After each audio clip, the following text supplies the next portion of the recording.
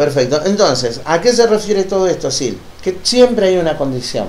Para hacer este tipo de cosas siempre se basa en una condición. Condición. Y si esa condición se cumple, tenés un mensaje verdadero, sino uno negativo. Negativo. Uno positivo, uno negativo. Uno verdadero, uno falso.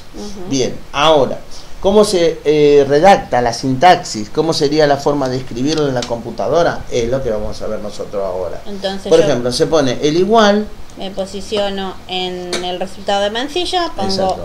igual, ahí va la función. Habíamos dicho que toda función, toda, pero toda función lleva, ¿eh? toda, fun- toda fórmula, mejor dicho, toda fórmula lleva una función. El promedio, contar, contará, suma, y bueno, y todo eso que habíamos dicho. Para la fórmula de condición es sí, Es es sí. sí.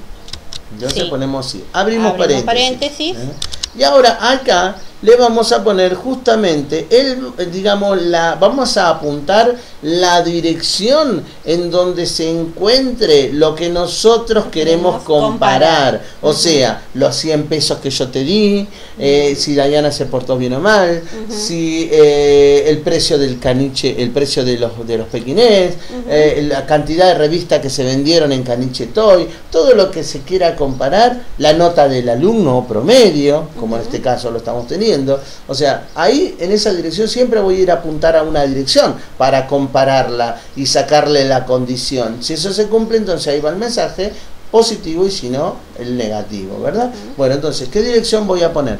voy a elegir E5. Que ahí estaría lo que Ahí habíamos estaría. dicho, promedio. Bien, entonces, ¿qué pasa? Como habíamos dicho nosotros en el escenario, y generalmente la mayoría de los ejercicios que yo te voy a ir dando, te vas a ir dando cuenta de eso, Sil.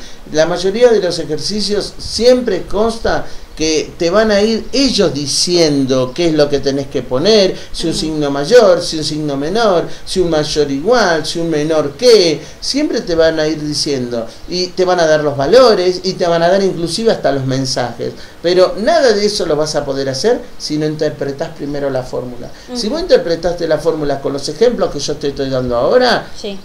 que venga la fórmula que quiera y vos la vas a poder hacer. ¿Sí? Bueno, entonces, ¿qué habíamos dicho? Que lo que está en el promedio sea la condición. La condición tenía que ser, para que sea un mensaje positivo, superior a 7. Bueno, entonces, mayor. ¿Cómo se pone el signo mayor? Mayor o igual a 7. A ver, Que quiero que 8 sea mayor. No, no, no, no. Eh, eh, vos me estás diciendo a mí que tiene que ser mayor o igual que 7, Sí, ¿verdad? sí. Mayor o igual que 7 es, es obvio que es 8, es Sí, sí. 9, es 10, ¿sí? Y bueno, ¿cómo se pone el signo mayor? Y acá están los signos. Bueno, ponelo. Pero no sé si será este. Mayor igual, ahí está, ahí está el mayor. Ahora pone el igual. ¿El signo igual así? Sí. Ah.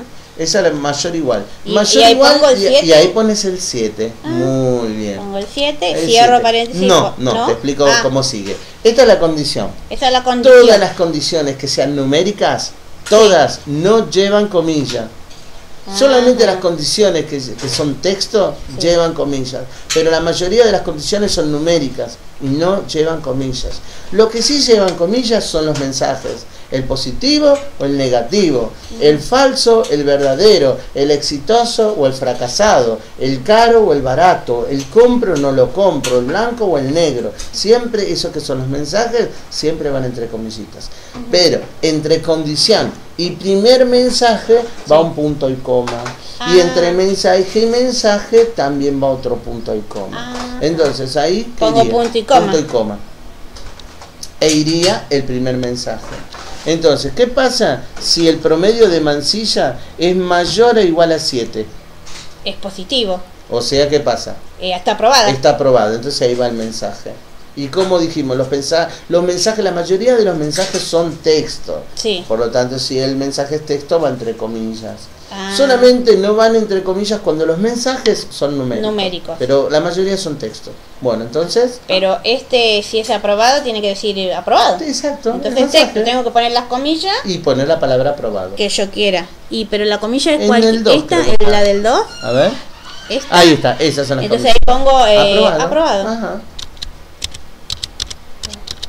Y cierro las comillas Y también. cerrás la comilla. Cierro Ese sería el primer mensaje. Si esta condición que vos estás poniendo acá, que se refiere a esta dirección, se cumple, entonces está aprobado. Si no se cumple, entonces ¿qué va a pasar?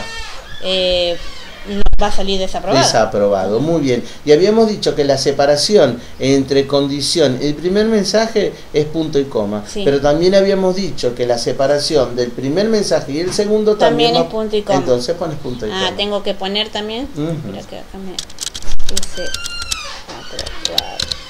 Entonces después vuelvo a poner punto y coma para que me dé La el otro mensaje. el otro mensaje y tengo que volver a abrir la, comilla y poner desaprobado. Esa. Y cierro otra vez la comilla Y cerrás paréntesis. y ahí recién cierro el paréntesis. Y ahí pongo enter. Y ahí apretas enter. Y ahí Y me salió que era aprobado. Está aprobado, ¿por qué? Porque esta condición se cumple, sí, se cumple, porque está apuntando a dónde, acá, y el promedio de acá. Fíjate, ¿qué pasa si en Word Mancilla se saca un 2? Vamos a ver el promedio. El promedio se le fue un 5. Un desaprobado. Entonces, no cumple con la condición. No. Entonces está desaprobado. Desaprobado. Automáticamente cambia el mensaje.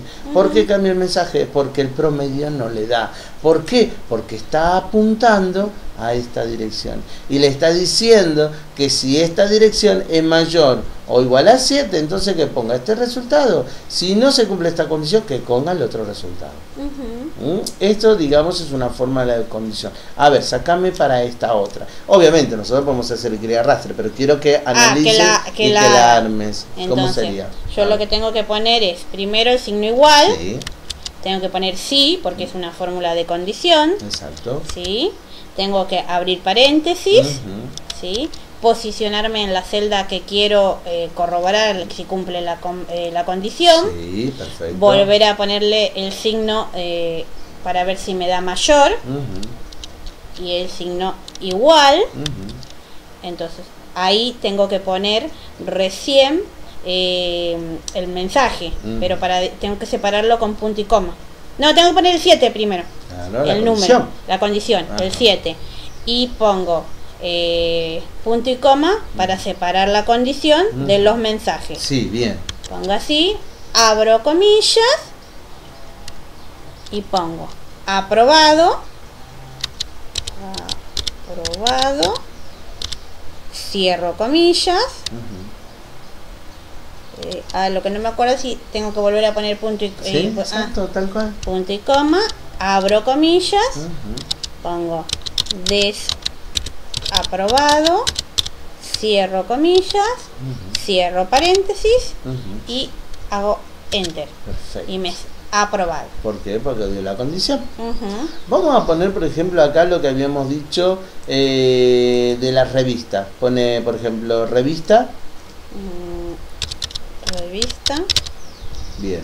Y acá ponemos, eh, por ejemplo, condición de la revista. condición,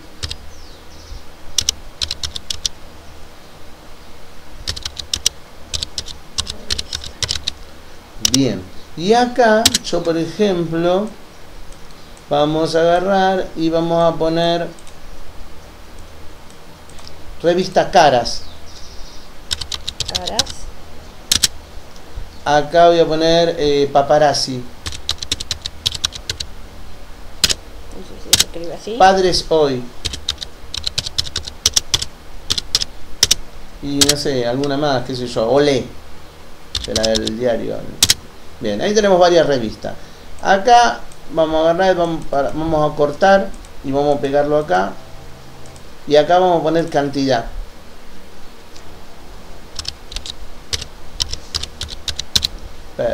Cantidad. Bien, y ahí en cantidad vamos a ponerle la revista, ponerle cifras entre mil y diez mil, la que quieras.